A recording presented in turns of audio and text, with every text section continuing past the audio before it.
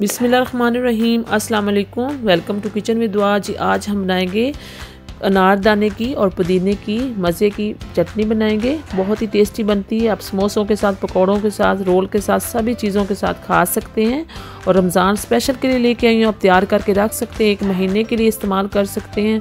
तो यहाँ पे मैं बना रही हूँ। यहाँ पे मैंने इमली ली थी और भिगो रखी थी इमली को और इसका पल्ब हम लहदा निकाल लेंगे इस तरीके से स्टेनर की मदद से। और यहाँ पे मेरे पास धनिया है फ्रेश।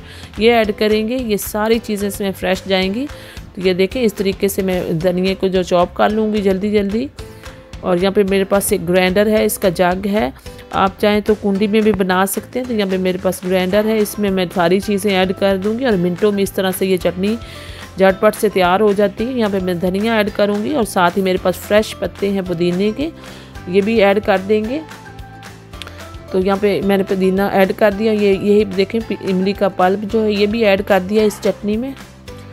और अनारदाना मैंने धो के, भिगो के रखा हुआ था, वो भी मैंने ऐड कर दिया। इससे बहुत ही खट्टा सा टेस्ट आता है और यहाँ पे मेरे पास सब्ज़ मिर्ची हैं और लहसन के जवे हैं तीन चार और एक प्याज मैंने छोटा सा चॉप किया, ये भी ऐड कर दें। इससे बहुत ही ये टेस्टी बनकर तैयार रहती है। यहाँ पे मेरे पास पिंक सॉल्ट है, एक चम्मच ये ऐड कर दी और काली मिर्च है और ज़ीरा पाउडर है। दूसरा नमक भी, वाइट नमक भी हमने ऐड कर दिया। थोड़ा सा यहाँ पे मैं पानी ऐड कर दूँगी ताकि ये अच्छी तरह से ग्रैंड हो जाए चटनी। तो ये देखें, चटनी हमारी अच्छी तरह से ये ग्रैंड हो चुकी, बड़ी ज़बरदस्त तैयार हो चुकी है।